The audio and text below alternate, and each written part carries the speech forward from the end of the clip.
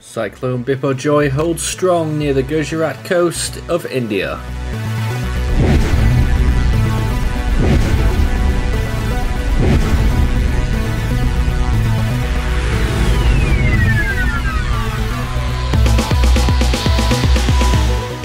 Well, this menacing cyclone continues to ponder its next move off the coast of India. A category 2 still at this point with estimated wind speeds of 105 miles per hour. It's at 21.1 north, 66.5 east, and is currently moving slowly and uh, maybe deliberately towards the northwest at about 6 miles per hour, paralleling the coast right now. We expect it to turn inland and make landfall in a couple of days. That's 170 kilometers per hour sustained winds with an estimated pressure of 956 millibars as of 3 pm Pakistan time this June 13th. So here is it, the storm's location on the map with its wind field which is quite expansive particularly on the southern side um, and uh, the storm very close to the coastline with tropical storm force winds just about reaching the coast at the moment. It's 283 kilometers from Dwarka, 338 from Nalia, 350 from Keti Bandar, 402 from Bhuj, and 419 from Karachi. So a lot of population inside the uh, threat from this storm, not just for the winds, but also for extensive rainfall, which could cause major issues down the line. Its exact landfall location is still in doubt right now. Where will it be? Will it be further south along the coast of India or possibly near the border with Pakistan? That seems to be more likely right now. Large areas of very high precipitation expected in western Gujarat during and after the storm's landfall. South of the landfall zone will be worst, with rainfall totals of 750 millimeters possible and very high rain rates which will lead to major flash flooding issues uh, near the storm's landfall location. So let's take a look at what our latest forecast is presenting and this is the storm's movement then.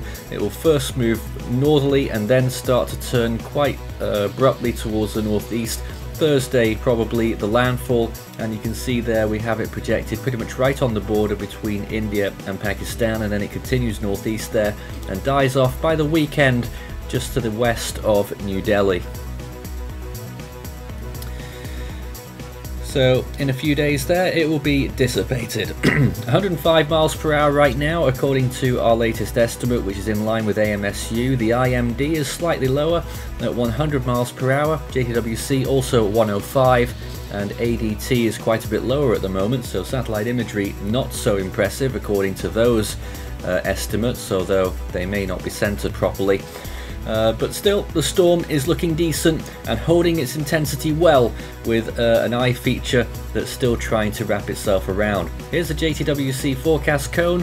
Uh, I'm not sure how up to date that one is, but uh, the storm is still expected to uh, strike that area that's depicted on the screen there around the coast of northern, northwestern Gujarat. Here's the GFS model projection, the storm moving north and then northeast, and the GFS reckons that there still could be time for further intensification and quite a bit of it there on that latest model there. Um, but realistically, uh, the GFS does forecast that the storm will strengthen only by about 6 or 7 millibars, so I can't see that we're going to get as much intensification as what this model is showing. Again, here's a close-up of that landfall area. Uh, very interesting to see where that is, uh, right along that border once again, and then moving inland. High populations involved there, which will receive tropical storm force winds probably north of 10 million. And here is the expected um, reflectivity shown here once again from the GFS model and you can quite clearly see that the south side of the storm will always be the wettest side as it continues to move on eastwards and what's left of its circulation will continue towards New Delhi and up towards the Himalayas uh, so it will continue to pass along uh, and weaken relatively slowly compared to what we normally see in this region uh, and certainly its remnants will survive a little bit longer.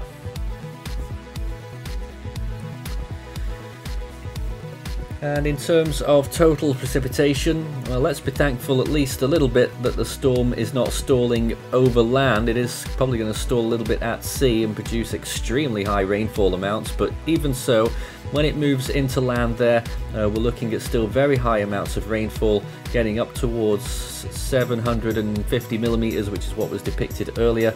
Um, 25.6 inches there, that's over 600 millimeters, and even well inland there, up to 12 inches, 300 millimeters, and over New Delhi as well, probably getting a little bit there too.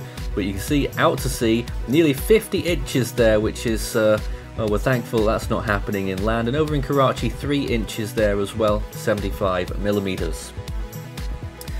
Sea surface temperatures remain good, of course, as you would expect. They're around 29 degrees Celsius, possibly pushing close to 30 degrees in some spots, but sea surface temperatures are never going to be an issue for this storm. Now you can see quite a lot of heat over India, of course, uh, going well up to towards 40 degrees Celsius in a few locations there, and that's as of earlier today as well. That's not even at the peak of the day.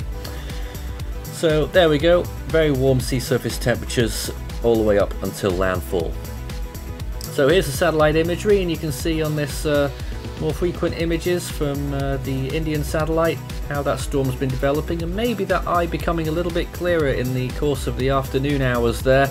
Uh, looking very interesting, gradual, slow north movement at the moment it would appear according to that visible, but according to what the uh, Navy is putting out at the moment it is still northwest. And here's another view, broader view from EUMETSAT uh, showing the storm's uh, influence there, which is already along the coastline, and a big band towards the south and southwestern side, which is looking quite ferocious too. Here's satellite imagery from the Force 13 website. You can take a look at that for yourself on that link. And here's the infrared imagery showing how the storm's been developing. Maybe a little bit of dry air intrusion on that northern side or wind shear, not sure. Uh, but it has been stalling in intensity a little bit.